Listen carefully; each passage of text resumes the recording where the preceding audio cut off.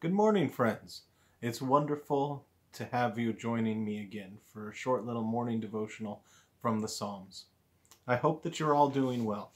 This is one of those things where we get to pray together, we get to reflect on God's Word together, but you know, I'd love to hear how you're doing. If there's things in your life that you need prayer for, if there are, um, that's particularly it. If there's things that I can be praying for for you, I would love to know about them so that I can keep you in prayer as uh, we journey on this in prayer together. I'm not saying pray publicly for you in this forum, but I just, I'd love to know how you're doing. I hear a lot of people saying they like getting together for this time together, um, and that's good, but it is, um, you know, it, it certainly doesn't replace our little Bible studies that we have. So I hope that you are well. This morning, as we gather together, we're gathering to look at Psalm 17. And Psalm 17 is a cry for help. It's a cry from David to the Lord as David cries out to God and says, God, I'm feeling surrounded. I'm feeling overwhelmed. The wicked are there in my face right now. Where are you? Are, what are you going to do, God? And I know we all have days where we feel that way. So I want you to be encouraged as you hear these words. I want you to reflect on your own life as well as you think about what how do you address God? How do you come to God when you're feeling overwhelmed? And I want you to be encouraged to know that God receives your prayers just as he did David's here. In fact, those prayers that you're praying have the same guidance from the Holy Spirit that David had as he prayed this as well. God teaches us how to cry out to him when we are in need and when we're not in need. So turn in your Bibles with me to Psalm chapter 17 or just listen along as we read this together. Psalm 17, a prayer of David. Hear, O Lord, my righteous plea. Listen to my cry. Give ear to my prayer. It does not rise from deceitful lips. May my vindication come from you. May your eyes see what is right. Though you probe my heart and examine me at night, though you test me, you will find nothing. I have resolved my mouth will not sin. As for the deeds of men, by the word of your lips I have kept myself from the ways of the violent. My steps have held to your paths. My feet have not slipped. I call on you, O God, for you will answer me.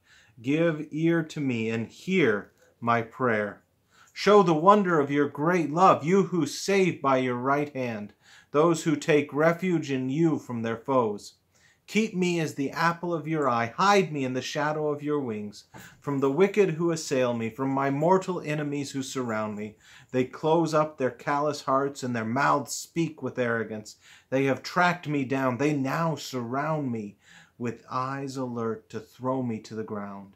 They are like a lion hungry for prey, like a great lion crouching in cover. Rise up, O Lord. Confront them, bring them down. Rescue me from the wicked by your sword. O Lord, by your hand save me from such men, from men of this world whose reward is in this life. You still cherish, you still the hunger of those you cherish. Their sons have plenty, and they store up wealth for their children. And I, in righteousness, I will see your face. When I awake, I will be satisfied with seeing your likeness. So David begins his prayer with a uh, uh, cry for vindication. He says, God, my heart is true before you. Now, understand this. He's not saying he's sinless. Uh, God didn't say that Job was sinless in saying that Job was a righteous man, but David's saying, Before you, you know the state of my heart. You know that I have a pure heart to you. And in part of that, I think it is that David was a man who was quick to come to God and to confess. When he did something wrong, he didn't hide it away from God and pretend to be righteous. He ran to God and he repented. He said, Lord, forgive me. So we see this pattern here. He says, God, you know everything. You search my heart kind of almost a Wesleyan sense that he every day, every night, he let his heart be examined by God to see what he had done right and what needed to be confessed to him. And then he goes back and he says, And I call on you because you answer me. It's this continuing sense that now David has an ongoing relationship with God. He knows that God is trustworthy, he knows that God is true. And he says, You will keep me. You will hide me, protect me from the mortal enemies who surround me, these wicked men. And he says lots of ways, has lots of different ways to describe them, but he says in verse 14, O Lord, by your hand save me from such men, from men of this world whose reward is in this life. And that's a linchpin, isn't it, for a description between those who are uh, taking refuge in God and those who aren't. The idea is where is your reward? Is your reward in this life or in the life to come? As Christians, we declare that the hope of the resurrection is that today we are pilgrims just passing through. We come only to proclaim the goodness of Christ and show the goodness of Christ in a broken world, knowing that the fullness of the reward that we will receive is in the life ahead of us. That's why when a righteous man or woman passes, we can say, uh, you know, they've gone to such, they've gone to their reward. And this is what David is referencing here. He's saying, eh, Save me from men who are living only for today in this dark way. We, I know that you are righteous, Lord. I know that you care for your children, that you you love them. And in the end, in the last verse, verse 15, he banks on this. He says, And I know that no matter what happens, and he uses sleep here in an interesting wake here in an interesting way. In righteousness I will see your face. When I awake, I will be satisfied with seeing your likeness.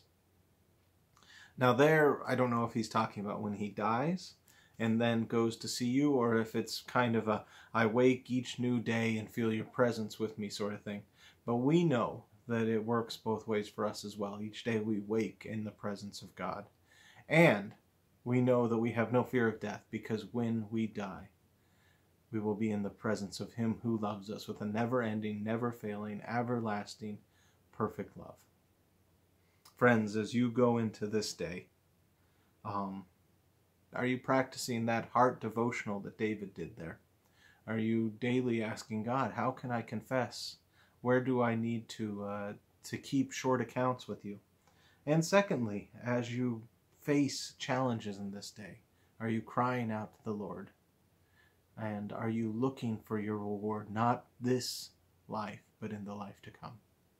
There's so much good stuff in this psalm. I hope it encourages you as you chew on it, meditate on it through the day, and uh, reflect on who Jesus is to you and for you today. Let's pray. Father, we praise you for this privilege of being able to gather together this morning to reflect on your word to feel the beauty of David's relationship with you and to see how that is our relationship with you as well. I pray, Father, that as we go from this place, whether we're just in our house or whether we're going to work or to, um, Lord, give us wisdom beyond ourselves. Give us uh, reliance on you, that we may walk with you and talk with you and live for you and feel your presence with us. We pray for those that are going as doctors and nurses and those who are on the front line of caring for people in this crisis. We pray for your wisdom and your grace, your power and your protection for them. And we pray for loved ones who have lost people and friends who have friends in the hospital.